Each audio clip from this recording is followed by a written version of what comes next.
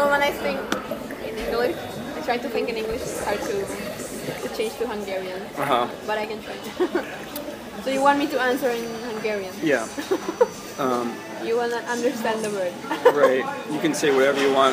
Nobody will know what you're talking about, except for the few Hungarians in the United States.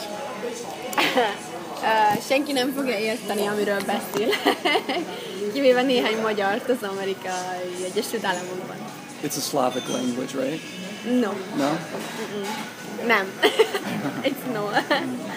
no, it's uh, actually we have the same roots as Finnish, Okay. but nothing like other language. Wow. Yeah, not similar to any. It's not like Czech or Slovakian. It's not even close. Have you been to Finland? No, not yet. But I mean, it's like it's really like you know back then we had the same roots, but now we couldn't understand each other. Maybe some you know the sound maybe that would be similar, but but not like birds or anything like that. Okay, back to your native tongue. Um,